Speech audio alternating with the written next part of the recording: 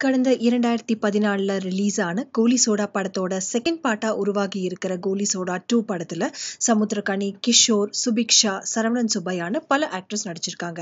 And இவங்க கூட இயக்குனர் கௌதம் மேனனும் ஒரு சிறப்பு தோற்றத்தில் நடிச்சிருக்காராம். அடையாளத்துக்கும் அங்கீகாரத்துக்கும் போராடுவதை மையமாக வச்சு உருவாகி இருக்கிற இந்த படம் வர மே எயிட்டீன்த் ரிலீஸ் ஆக இருப்பதாக அறிவிச்சிருக்காங்க. யூடியூப் ஆப்பில் மாலை மலர்னு டைப் பண்ணுங்கள் அப்படியே சப்ஸ்கிரைப் பண்ணுங்க. பண்ண உடனே பெல் ஐக்கானை கிளிக் பண்ணுங்க. நவ் இன்ஸ்டன்ட் அப்டேட்ஸை பார்த்து என்ஜாய் பண்ணுங்க.